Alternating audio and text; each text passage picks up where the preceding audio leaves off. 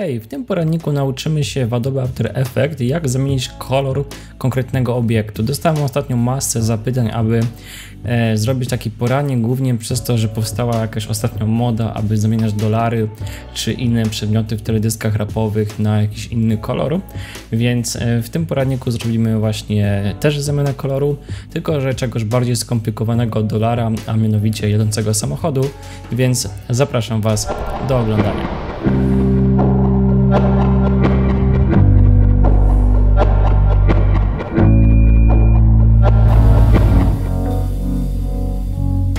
Ok, jesteśmy w programie. E, co potrzebujemy?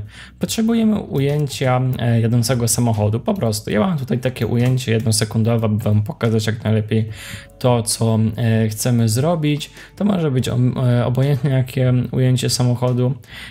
My w tym ujęciu będziemy chcieli właśnie zmienić kolor tego środkowego samochodu. Jak widzicie, on się porusza, zmniejsza się, większa i także jego pozycja ulega zmianie, więc jest trudniejszym obiektem niż na przykład statyczny obiekt, który możemy zrobić z e, normalną maską i sposób, który tutaj e, wykorzystamy do zaznaczenia konkretnego obiektu jest jakby można powiedzieć najbardziej skomplikowany, więc e, nieważne jak bardzo trudny będzie wasz obiekt w waszym klipie, tym sposobem sobie spokojnie poradzicie. Więc duplikujemy sobie warstwę z naszym samochodem. Dolną warstwę na razie włączamy widoczność i skupiamy się na warstwie górnej. Klikamy tą warstwę górną dwa razy tak aby tutaj e, przeszło nam do e, opcji Layer Car e, MP4. Dzięki temu jesteśmy w takiej opcji warstwy, jak tu widzicie, gdzie manewrujemy na, na konkretnym klipie jakbyśmy na Composition zostali, to byśmy nie mieli tych ustawień do tak zwanego rotoscopingu, które tutaj mamy. E, rotoscoping, który w tym poradniku zahaczymy, będzie bardzo podstawowy, więc e, nie wymaga e, za bardzo dużego tłumaczenia. Jest to po prostu narzędzie, które maskuje Wam, tak jak zwykła maska, Wasz klip, ale on automatycznie już przewiduje dalsze położenie obiektu, czyli na przykład łapie jakiś kolor i stara się utrzymać obrys tego koloru, czyli jakby robiło nam taką automatyczną maskę i w takich klipach e, bardziej e, zaawansowanych strasznie ułatwia nam pracę, więc bierzemy sobie narzędzie rotoscopingu, jest to taki ludzik z e, pędzlem, upewniamy się, że jesteśmy na warstwie layer, nie na composition. I jeśli tak jest, pokaże nam się taki zielony tutaj znaczek, który widzimy. Możemy sobie przybliżać, oddalać, Ogólnie zielony oznacza to, że łapiemy coś, pokazujemy co ma być, a kiedy przytrzymamy sobie Alt, pokaże nam się taki czerwony, e, czerwony celownik z e, minusem i on nam pokazuje, czego nie chcemy.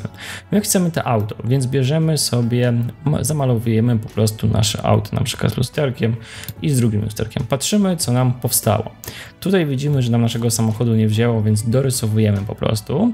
Tutaj też dorysowujemy tą górę, której nam nie złapało. W taki sposób. Teraz możemy przejść tutaj i przytrzymać Alt i usunąć to, co nam dodało ponadprogramowe. Teraz dodać to, co nam objęło. Możemy też lusterko dodać sobie tutaj i możemy sobie także e, obciąż trochę dół. Ogólnie ten dół e, nie będziemy się nim zbyt przejmować, bo on jest ciemny, więc w, ciemnych elementach hue, które będziemy e, zmieniać, nie ma za bardzo nam dużo do powiedzenia. Więc tak, więc zamieniliśmy sobie właśnie, zamieniliśmy, zaznaczyliśmy sobie nasze auto, mniej więcej tak, naprawdę. To nie musi być jakiś piękny rotoscoping. Nie bądźcie na siłę, nie bądźcie na siłę perfekcjonalistami, gdyż ten efekt e, kolorystyczny i jak on będzie bardziej rozmyty, więc e, nie będziemy widzieć tych twardych krawędzi. Doda nam po prostu e, na obiekt naszego auta, nie musi to być idealna maska, gdyż nie dodajemy jakiegoś wybuchu i nie musimy się przejmować, że wybuch nagle nam się pojawi w oku naszego bohatera. Feeder możemy sobie zwiększyć na przykład na dziewiątkę, aby rozmycie krawędzi było łagodniejsze, dzięki temu trochę jakby tam złapiemy więcej w miejscach, gdzie nam uciekło, no i doda nam trochę w miejscach e, niechcianych jak tutaj, ale to jest są, nie wiem, 3 piksele, więc e, przy zmianie kolorystycznej to nie będzie tragedii. Możemy sobie zobaczyć teraz e, czasowo, e, na przykład to możemy jeszcze powiększyć, aby rotoscoping nam tutaj szedł do końca, więc to przesuwamy do końca, ale także czasowo możemy zaobserwować, jak on nam się zmienia. Widzimy, jak tutaj nam czasowo ten rotoscoping idzie. Ogólnie widać, że nam to ucieka, ale nie, nie ucieka nam aż tak strasznie bardzo więc nie musimy się za bardzo nim przejmować. No może, że w efekcie końcowym zobaczymy, że coś nam nie gra i wymaga to jednak y, korekcji na przykład tego dolnego cienia. Jednak ja myślę, że on nie będzie się za bardzo gryzł. Jeśli będzie się gryzł, to wrócimy y, do tego ujęcia i po prostu za pomocą Alt usuniemy.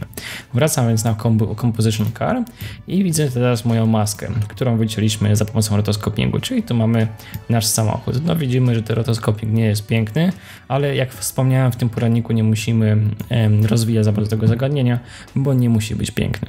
Więc odpalamy dolną warstwę, dzięki temu nie widzimy w ogóle naszego rotoscopingu, ale kiedy teraz przerzucimy efekt hue na e, nasz samochód i na przykład zmienimy teraz master hue, to widzimy jak nam zmienia się kolor.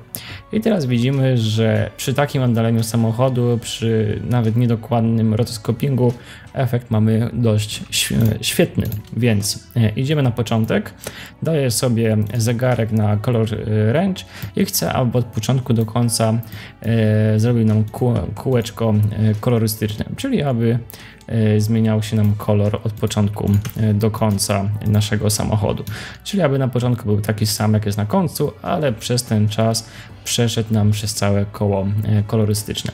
Więc puszczam play i taki efekt uzyskaliśmy. Uzyskaliśmy efekt e, auta, które zmienia kolor w zależności od jego wielkości czy położenia. Za pomocą tak naprawdę e, szybkiego działania i tak naprawdę, e, jak widzieliście, znając ten sposób, ten zabieg trwa minutę, dwie, góra.